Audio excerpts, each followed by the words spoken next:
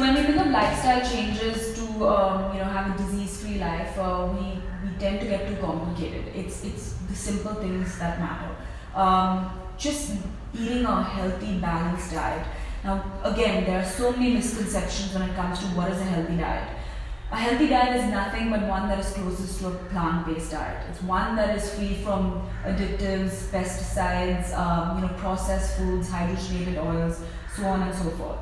Um, stick to home cooked foods. Stick to foods that are, you know, uh, come from your region, and just having a balanced meal, eating nutritious food, uh, mostly vegetables, a lot of fruits on a daily basis is it's basically more than enough Along with that, some kind of activity, physical activity is very, very important. Uh, it's recommended that at least minimum of 30 minutes of cardiovascular activities um, most days of the week is, is important and definitely managing the mind. Um, if there is anything that uh, you can do in order to get yourself um, calm and stress free, do it. Meditation is highly recommended, but if it's, something that's not for you, then like I said, um, you know, there's music therapy, there's art therapy, there's gardening, there are various different things. Engage in that every day. Take some time out. Uh, writing, writing is another great way of, um, you know, just calming the mind, dealing with what's going on emotionally.